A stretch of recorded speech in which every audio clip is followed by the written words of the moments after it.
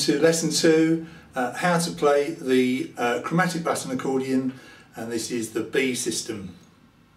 Uh, in the first video I showed you how to uh, uh, get strapped into the instrument and to play a one chord song which was Frere Jacques and I hope you've got on okay with that.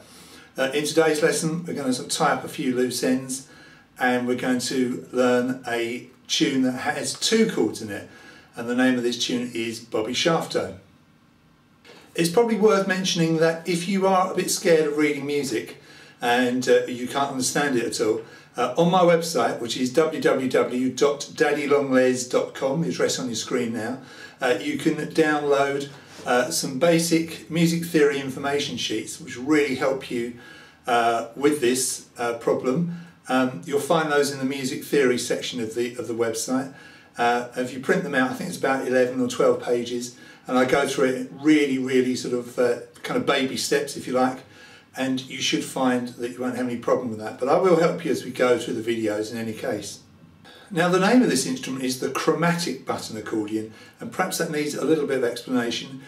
Chromatic means playing every single note. So if I start on this note here, which is a G, um, and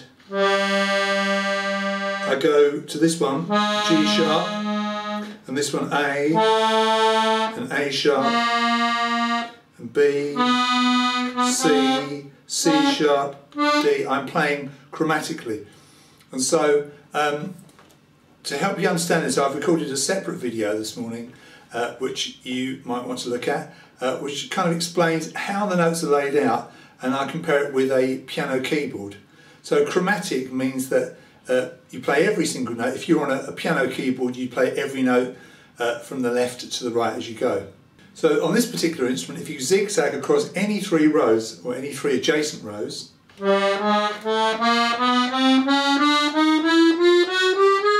like that. So let's try that on rows 4, 3 and 2.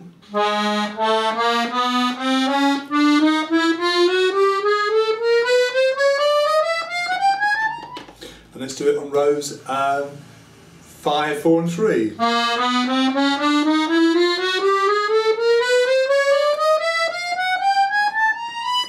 So it, it kind of works in a kind of a forward slash kind of angle like that, going across. And I say any three adjacent rows will give you that uh, chromatic scale. So basically you've got your keyboard, you've got your piano keyboard and you've kind of folded it up into a zigzag so you can cram all those notes in that small area. But as I say, have a look at that other video, uh, that will uh, really help to explain it because I, I show you the piano keyboard and this keyboard at the same time. Like I said in the first video, um, white buttons on this instrument correspond to white notes on the keyboard, piano keyboard, and the black buttons on here correspond to black notes on a piano keyboard. Um, if I play this note here, this is a note C. I'm just going to show you the major scale of C uh, that most of our first tunes are based on.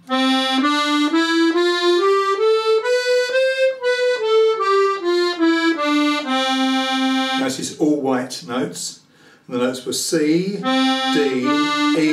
F, G, A, B, C.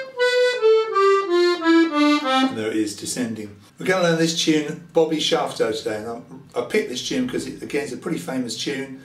It's fairly easy, and we're going to make a bit of a, a progression today from playing a song that's got one chord, like Frere Jacques, to this one which has two chords to accompany it. So we're going to be dealing with two chords on our left hand. We'll get to that in a minute. Let's just sort out the right hand uh, and look at the notes we're going to use in the tune. You'll need to go to the second page of the tune and you'll see there's a little chart that says notes used in this tune as found on this instrument, the Black Diamond, uh, 60 bass, B system chromatic button accordion to give it its full name. And um, you need to remember that this is row 1 on the outside, row 2, row 3 and row 4. We're going to use a note on row 4 today. A button 1 is the one nearest the chin end, okay, so you get your bearings in that way. So looking at that chart, let's just identify the notes we're going to play in the tune. This is not the actual tune itself. Uh, like I said before, this is kind of the ingredients to bake the cake. Uh, the lowest note in the tune is a G, and that's this note here. That's actually the lowest note on this instrument, lowest sounding note, okay? And that is found on row 2, button 1. Okay, the next highest note in the tune is this one, which is B, which is row 1, button 2. And the next highest is C, which is row 3, button 2. And those three notes are found uh, on or under ledger line. So the G is found underneath the second ledger line on the music. The, the ledger lines are those extra little lines just tucked underneath the stave just to accommodate those lower notes. And we can also have ledger lines above the stave, we haven't got that far yet. Uh, the B is under the first ledger line underneath the stave and the C is on the first ledger line underneath the stave. So G, B, C. Then we've got D, which is uh, row 1, button 3. That note is just tucked in the space, if you like, just underneath the first line of the actual stave. Just to remind you that when I talk about the stave, I'm talking about those five parallel lines, the kind of shelves for putting the notes on. So uh, we then have E, which is actually on the first line or the bottom line of the stave. Uh, E is row 2 button 4. Now F is quite special in this tune. Uh, you find it on the stave in the first space, that's in the, in the space flap between the first two lines. We're going to play this note in two places. We're going to find it on um, row 4 button 4 and we're also going to find it, you probably see the button going down because it's linked. We're also going to find it on row 1 button 4 so row 1 button 4 and row 4 button 4. Now the reason we're going to play it in two different places is just for convenience. It's actually going to be more comfortable uh, at certain points in the tune to play it on row 4 and in certain points in the tune it's more comfortable to play it on row 1 and that's a, a really handy thing about this instrument. You may remember that I said uh, notes on row 1 are duplicated on row 4, notes on row 2 are duplicated on row 5. Okay, so that's why you see two buttons go down uh, sometimes. Obviously you don't see two buttons go down if you play in the middle row because that row is not duplicated anywhere. And the other note um, is the G, which is an octave above the first G I showed you. It's on the stave, it's on the second line up, and it's row 2, button 5.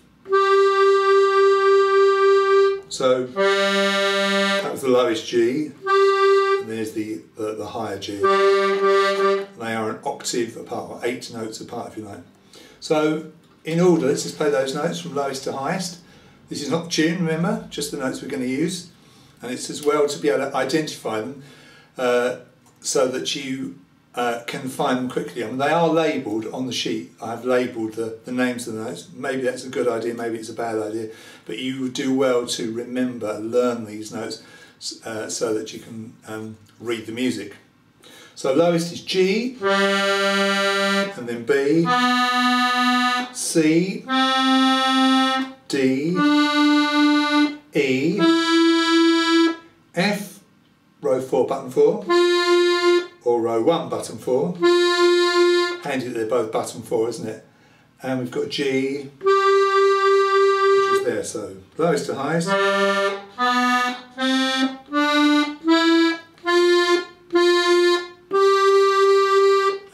The notes that we use in the actual tune. So at the top of the first page of this tune it says that it's a simple two chord song in the key of C major. Um, I will explain about key signatures a little bit later on, I don't want to worry you too much at the moment. Uh, just suffice to say that all the notes in this tune we're going to play are going to be on white buttons. Um, you're going to count in fours, so one, two, three, four, one, two, three, four. That's a four, beats in each bar. We'll talk about that left hand accompaniment a little bit later on. Let's really concentrate on just learning the tune to start with. So on the first stave it says pull bellows out. In other words, as you play you're going to be pulling the bellows out uh, to allow air uh, into the instrument and so that the reeds inside sound, so the notes sound. Now I'm going to just say open your bellows slightly, use your air button. That means that when you come back at the same amount you've just got a little bit of leeway, a little bit of air left. You, otherwise you may find you shut the bellows completely on the way back and of course if they're shut completely you won't get any sound. So just give yourself a little bit of a margin of error, a little bit of leeway, pull the bellows out slightly, a little nudge on the air button, about that much if you can see that, and then you're, you're good to go. Um, right, the left hand chords are written in bold type, C, G, C, G, C, G. As I say, don't worry about those at the moment. Now we're not going to use the thumb in this tune, I've decided it's easier to use fingers 1, 2, 3 and 4 and not use the thumb. Now if you look at the internet, look at lots of players of chromatic button accordions, some use the thumb and the fingers, some only use fingers. Uh, I do a kind of a mix, mixture of both. And this particular tune, I'm not going to use the thumb. In fact, I'm going to tuck it behind uh, the right hand keyboard here to make myself feel comfortable. You can have it, can have it sort of floating free if you like. If that works for you, that's fine. But I'm going to tuck it behind the right hand keyboard here. So I'm not going to use the thumb uh, in this particular tune. So my first note, C, index finger, uh, pulling out, and I've actually got three of those. So the next note is F, and it's got an asterisk underneath it. Uh, that's because um, if you look at the chart on the right hand side, you'll see that when I want you to play the F on the fourth row, I put an asterisk underneath it. So it's this F, row 4, button 4, and finger number 2, uh, middle finger of your hand. Okay, and then we've got E, okay, so we're going to go over to row 2, button 4, and then we've got the note G, back to the E, and back down to our C again. Let's just close our bellows up a little bit, open them up just a tad so we're in the starting position, and let's play those first uh, two bars of music, those first eight notes.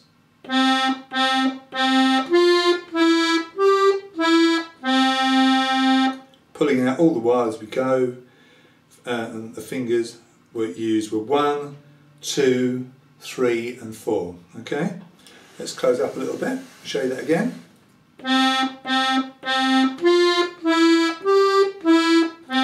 Very familiar tune, isn't it? Now all those notes are crotchets, they're all one beat notes, so simple counting is, and you can see it underneath, one, two, three, four, one, two, three, four.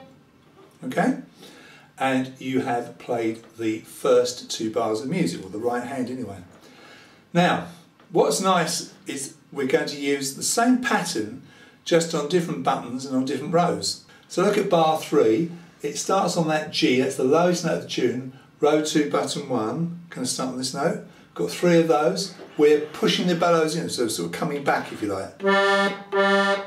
Three of those, then you've got C, which is uh, row three, button two, and then we've got uh, B, which is row one, button uh, two, and then we've got D, row one, button three, back to the B, down to the G. Now look at that, I'll pull the bellows out there, play that again, watch the pattern of fingers.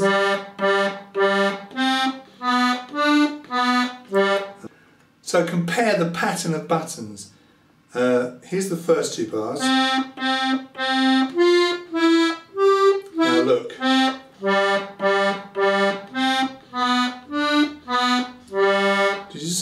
From there to there, up to there, back to there. So that's one kind of pattern. And then this pattern, exactly the same, just on uh, different rows. So that's really handy, isn't it? Uh, that's the nice thing about this instrument. It's very, very pattern based. So we've got our first stave of music, our first line of music, if you like, and those four bars, and they're all crotchets, as I've listened to. I can't count them with the four. One, two, three, four.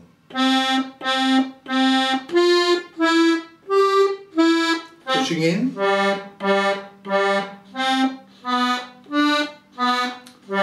Now, on the next stave, um, the first two bars are the same as the first two bars on the first stave. So just start again.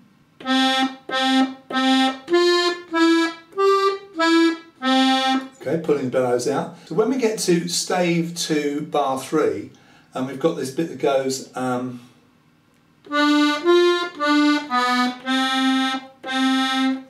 Okay, now notice that time when we play the F, we're doing it on row one because it's convenient, isn't it, to, to have it there, okay? We have in notes there D, F, D, B. Uh, D is row 1, button 3. F in this case, row 1, button 4.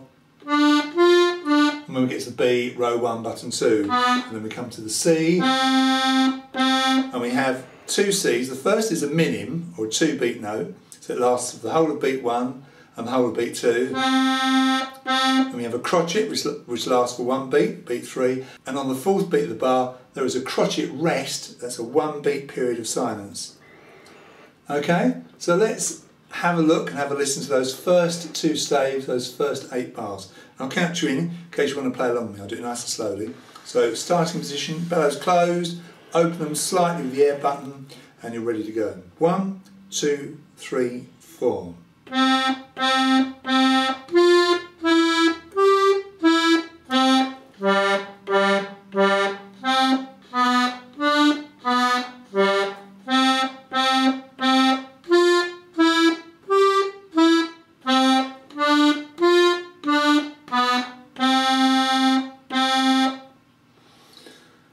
Sounds pretty good. That's a very familiar tune, isn't it? Right, let's go to stave three now, move on. And we are going to play a nice easy pattern here.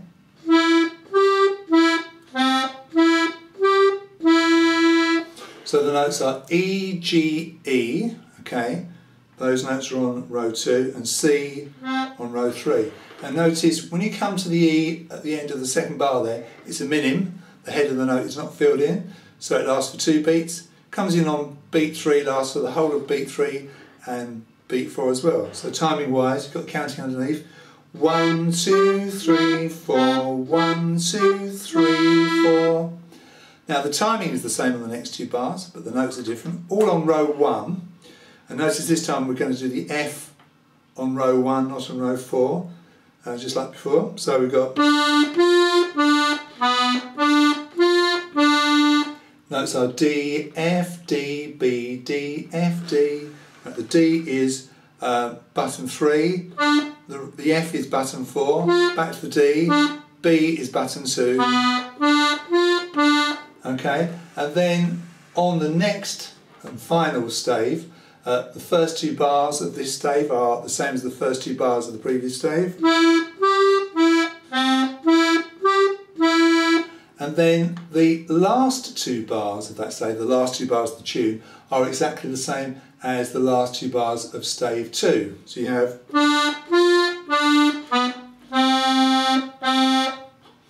So let's play the second half of the tune now. So we're going to close our bellows, open them slightly. So we're going to play uh, stave three, stave four. Two, three, four.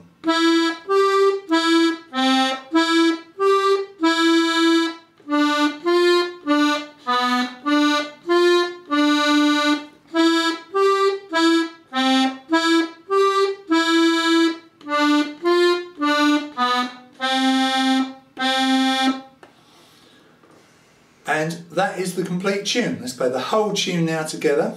Do it nice and slowly from the beginning. And I'm going to count you in. Make sure you get your bellows in the right position. Closed. Open them slightly. I'm going to count you on the four. One, two, three, four.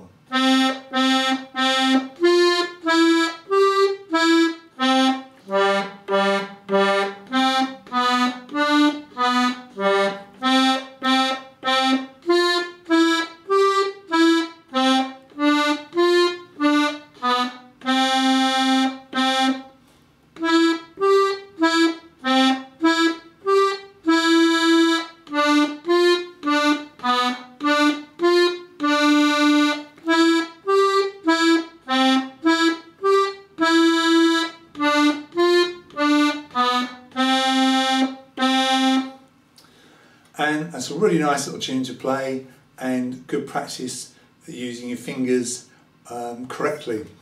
As I said in the first uh, lesson, don't get tempted to do it all with one finger. You know, get using that right hand properly and you'll be glad you did, promise you. Now the right hand fingering I've come up with, um, it works for me. It may not work for you. You may want to use your thumb. You may want to come up with your own kind of strategy uh, for your right hand, and that's absolutely fine. If it's logical for you and it works, that's absolutely fine. This is only my suggestion. Let's have a little word about dynamics. Now, this is a very dynamic instrument. I'm not playing it very dynamically at the moment. And if you don't know what I mean by that, it means it can go very loud and very soft. The piano is a, a touch sensitive instrument. I mean, say the harder you hit the keys, the, the, the louder it sounds. But this instrument, it doesn't matter how hard you press these keys, uh, it doesn't make any difference to the volume. The, the changes of volume or the dynamics in this instrument come from the bellows, and your use of them. So if you pull hard as you play, it'll be really loud like this. Have a listen.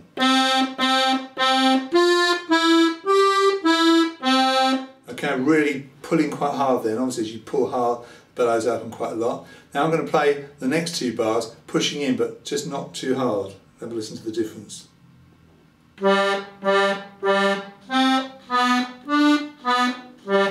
Pushing very gently there.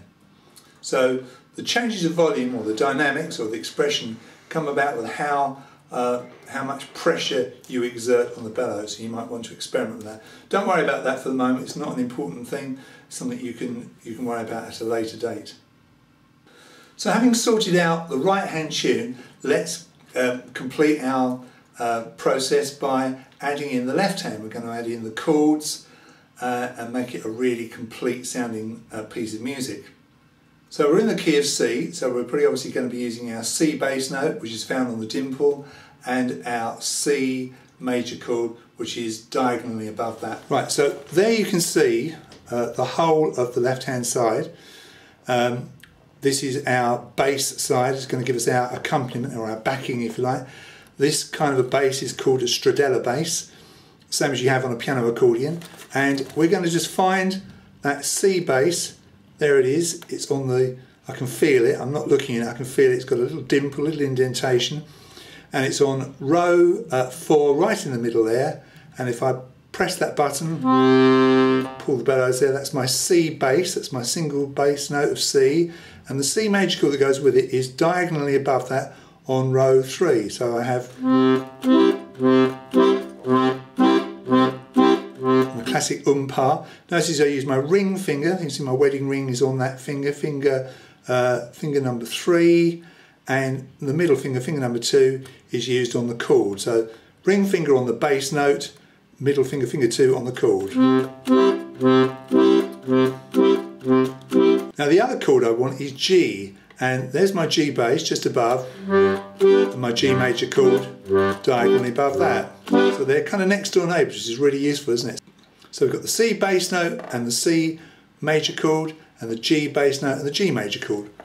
Really close to each other, nice and convenient. So at the end of stave two, rather than going umpa, um, I've told you to play the chord and the bass note together, which works really well at that point. So here's the left hand accompaniment to the tune uh, without the right hand. So I'm going to count you in the four. Bellows closed, slightly open. Here we go, one, two, three, four. So C, C, C, C, G, G, G, G, C, C, C, C, G,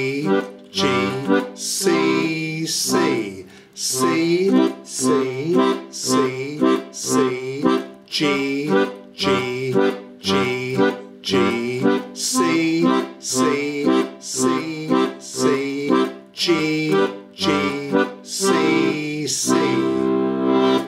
And notice there how I played the C bass note and the C major chord together uh, to finish up stave 2 and stave 4.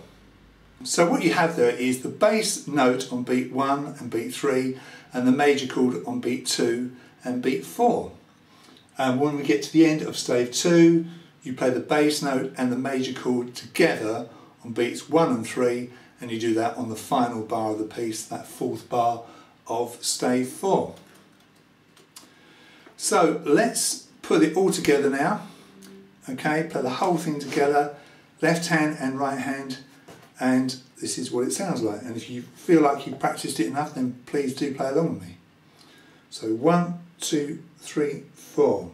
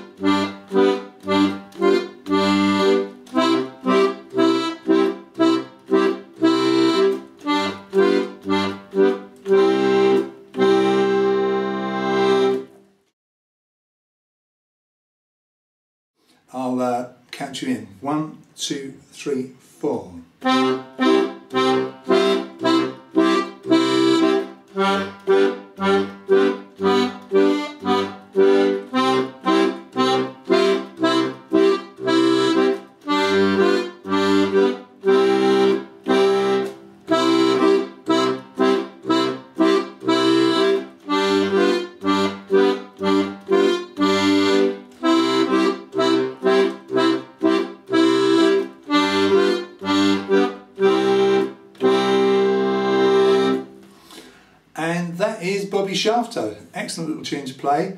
And you're now playing a tune, if you can do this, that's got two chords in it. And you definitely made some progress from lesson one. So there we are, that is the end of lesson two. Um, I hope you're getting on okay. And I'll see you in lesson three.